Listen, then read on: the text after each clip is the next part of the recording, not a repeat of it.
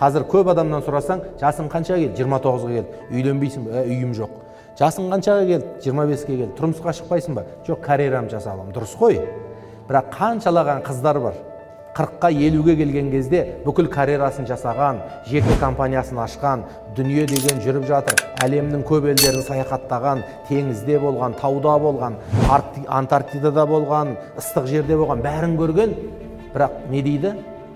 Мен үшін ыстық құмға барып сахараға рахаттанып керемет жылы теңізге түскеннен гөрі бір баламның мама деген сөзінен ыстық нәрсе жоқ дейді мен үйге келгенде алдымнан мама деп қызым немесе ұлым күтіп алса одан ыстық маған не нәрсе бар дейді мен бүкіл сол әлемге қыдырғанымды бүкіл сол жолға түскен компаниямды анашым деп жүгіріп кеп мойныма асылған перзентімнің білегіне айырбастар едім дейді себебі әйел адамның мойнындағы ең қымбат алқа перзентінің білегі дейді да оралған.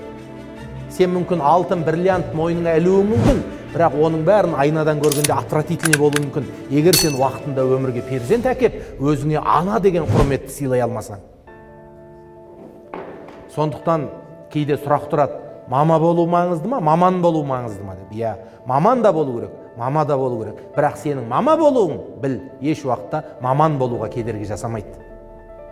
Ал сен маман болуың мүмкін бірақ уақытын өткізіп алсаң мама бола алмай қалуың мүмкін да.